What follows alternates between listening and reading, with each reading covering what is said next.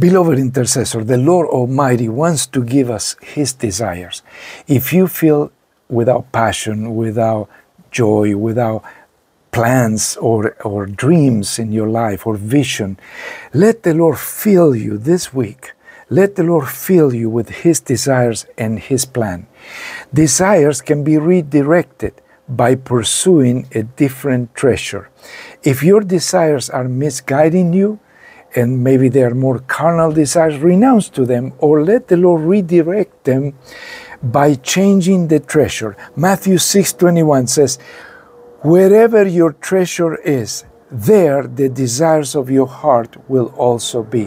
So my dear friend, understand that the treasure is your values treasure is the thing that you care for the most, the thing that you decide, this is the most important thing in my life.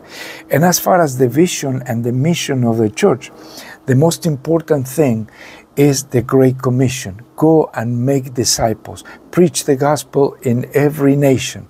And so God wants to give us desires that originate in our values. Let the Great Commission be part of your value. Let holiness be part of your values. And then where your treasure is, there your desires will be.